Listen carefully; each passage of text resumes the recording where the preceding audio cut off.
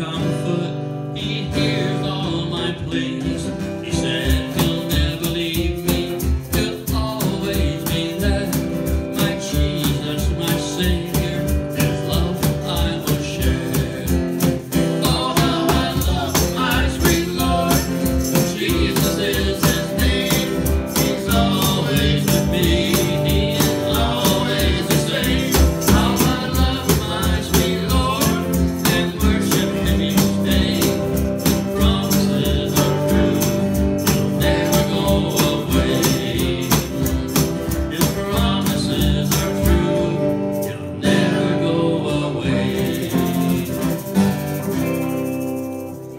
I walk with my Lord.